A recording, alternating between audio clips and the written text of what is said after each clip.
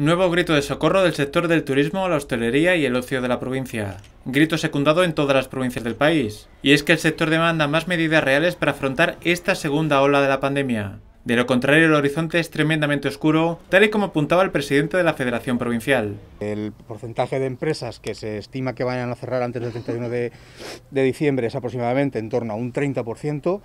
Eh, la facturación en el mejor de los casos está en el 50% en general para prácticamente todas las, empresas. Hay algún microsector que se ha salvado durante el verano un poco alguna cosa, pero está realmente francamente mal. Y sobre todo cuando eh, las limitaciones horarias, las limitaciones que estamos teniendo todavía más, eh, todavía hacen que esa facturación se prevea peor y vamos abocados hacia una época que en general es buena para la hostelería, pero si siguen estas restricciones, evidentemente eso ya va a ser la puntilla que va a declarar la ruina de muchísimas empresas.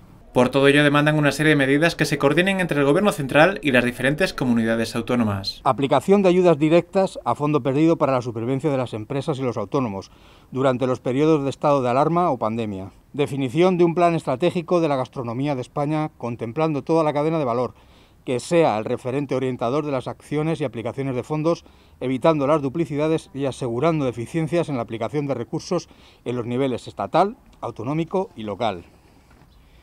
Impulso de un plan de formación específico para la mejora de la gestión económica y la profesionalización del sector hostelero y turístico.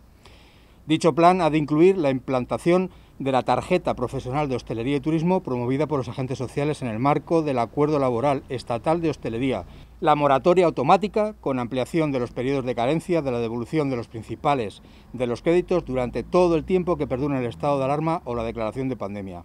Modificación de la regulación de alquileres que contempla circunstancia de estado de alarma, toque de queda o regulación asimilada y pandemia. Derogar la cláusula de los ERTES con relación al mantenimiento del empleo en los seis meses siguientes a la reanudación de la actividad. Con el transcurso del tiempo es una necesidad la reestructuración de muchas empresas y autónomos si quieren garantizar su supervivencia, lo que las obliga a tomar la decisión de aplicar ERES o concursos, por lo que están actuando sin ánimo defraudatorio, sino por puro estado de necesidad, así como la prórroga automática, ampliación de la cobertura y aplicación de la condición de cadena de valor del turismo.